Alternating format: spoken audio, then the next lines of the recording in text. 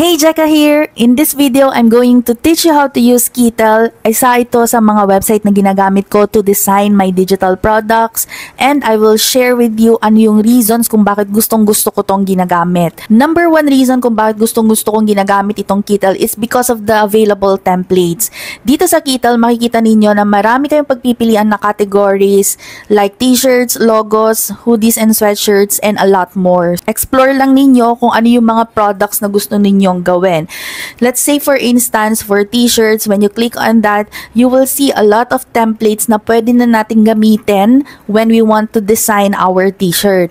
So aside from that, you can also search for a certain keyword, specific keyword, and then magpa-pop up na dito yung mga templates na available related dun sa keywords na tinype natin. So if you want to use a certain template, i-click nyo lang yan and then click use this design and it will take you to the canvas. So, ganito na yung tsura ng canvas. So, makikita ninyo dito sa left, ito yung mga tools na pwede natin gamitin to edit our design and even on the right side. Ngayon, if you want to add an artboard, ang tawag natin dito sa canvas na nakikita natin is an artboard. So, kung sa ibang design websites, isang size lang ng artboard ang pwede nating gawin or canvas ang pwede nating gawin, dito sa Kitel, pwede tayong mag-add pa ng isa. So, we can just duplicate this one. So, makikita ninyo dito, dalawa na yung artboard niya. Or, pwede naman tayong mag-drawing ng artboard kahit magkaiba yung sizes dun sa previous na artboard na ginawa natin.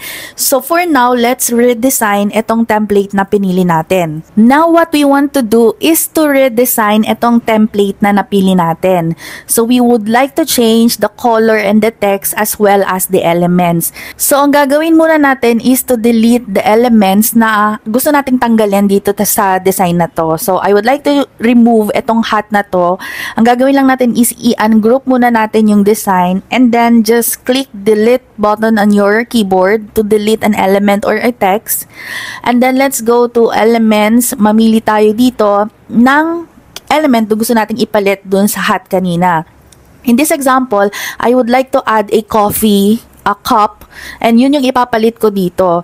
So, mamili lang kayo dito sa elements ng gusto ninyong ilagay. So, example, ito.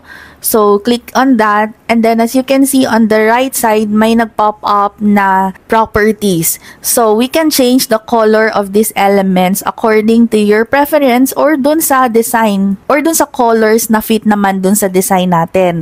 So, I would like to change the color click nyo lang ito and then mamili lang kayo dito ng kulay na gusto ninyong ipalit. So now, since we're done changing the colors, we can now arrange the elements na natira dito. And there you go. If just in case merong elements dito na gusto ninyong ilagay sa taas or sa ibabaw, i-right click nyo lang yon and then you can put it forward or dun sa pinakalikod. So, in this case, gusto ko siyang mapunta dun sa pinakaibabaw. So, clinic lang natin yon So, something like this.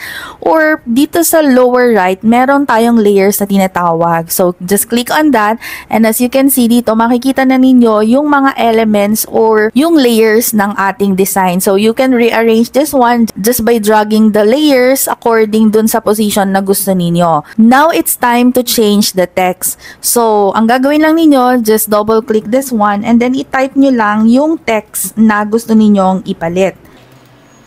So, tinype ko dito is coffee lover pero nagkulang yung space. So, ang gagawin nyo lang is just go to the right corner and find the transformation. So, i-edit lang natin yung transformation and then i-drag nyo lang itong dot dito para lumabas lahat yung text na tinype natin. Pero ayaw naman natin na ganito yung design. So, we are going to change the transformation into circle. So, papalitan lang natin yung direction ng transformation just by clicking this one. And now, we can reposition the text.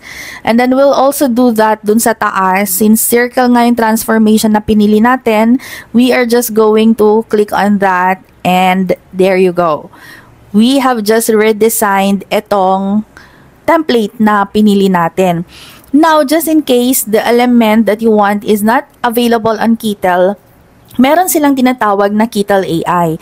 So, what I like about this is you just have to type a prompt or description, even just a short description, and then you choose the aspect ratio And then, ito na yung pinakagusto ko sa lahat. Pwede kayong mamili ng image style that you want. Click nyo lang yan. And then, pwede kayong mamili if you want to generate an image na ang image style is photography, digital art, anime, etc.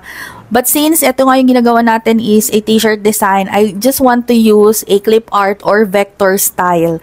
So, pwede kayong mamili ng style na gusto nyo dito. Let's say, for instance, I would like to create an emblem style ng a cup of coffee and then we're just going to generate the image.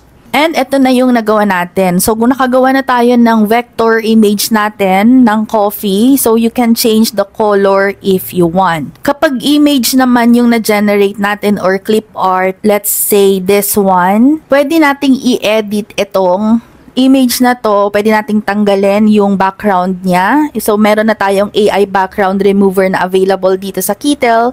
And if you want to vectorize itong image na to, you can actually vectorize this one. And then, kung gusto ninyong i-enhance yung image, you can also use the AI image upscaler. Let's say, we want to vectorize this one and then gusto natin ng 3, 2 to 3 na colors for this image. Ay, piliin lang natin yung number of colors na gusto nating um, gamitin for this specific na clip art.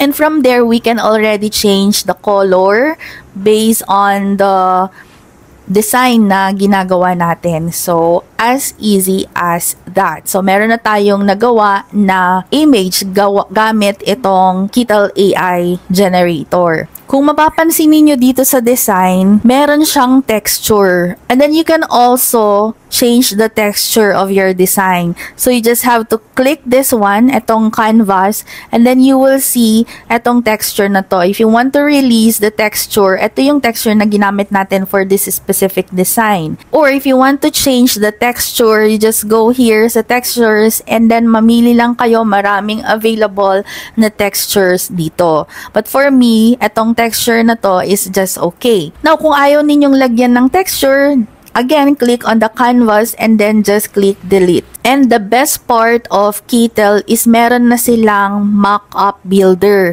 So dito, hindi na ninyo kailangang pumunta sa ibang website para lang gumawa ng mock-up. Kasi dito sa loob ng Kittel is meron na silang sariling mock-up generator. So click nyo lang yung mock-up. Dito sa loob ng Kittel website, marami ng mock-ups na available dito. So hindi na natin kailangan pumunta sa ibang website para lang gumawa ng mock-up. Since we have created a t-shirt design, So, ang gagamitin natin ng mock-up is t-shirt. So, mamili lang kayo ng mock-ups dito. And then, i-drag lang natin yung design dun sa placement ng t-shirt. Pwede rin natin siyang lakihan or liitan. So, i-resize nyo lang dun sa size na gusto ninyo. Another feature na maganda sa kanilang mock-up builder is yung pagpalit ng color ng t-shirt. So, you can change the color of the t-shirt. Ayan. So, pwede kang mamili dito or you can use a hex code for the color of the t-shirt. And then, once you're done, you you just have to download the mock-up. But if you want to create your own design from scratch, ay pwede naman. So, you just create another project or pwede naman na mag-add kayo ng another artboard dito. So, we're going to just type our text here. Kung gusto ninyong palitan yung font color and then the font style, you just click on the text and then on the right side, mamili na kayo dito ng font style na gusto nyo.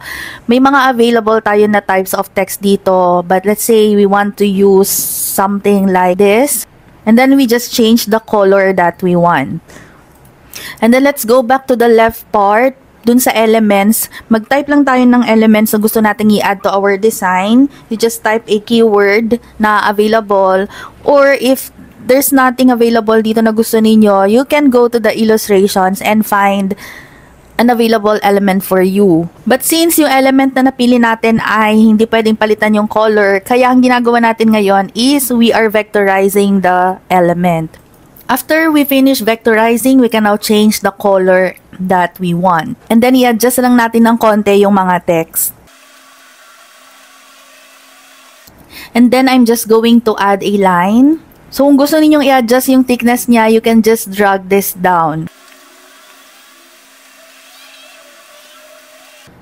And then for the text dito sa up and down, I would like to add a transformation na circle kasi gusto ko lang siyang lagyan ng effect na something like this. So, i-adjust lang ninyo yung, i-rotate lang ninyo yung text. And this one also, we would like to add a transformation circle, but it's the other way. So, we're going to click on that. And then, just fix the position of the text. And there you go, we just have created a design out of scratch. So, kung gusto ninyong mag-sign up for free dito sa Kitel, you can check the link in my bio.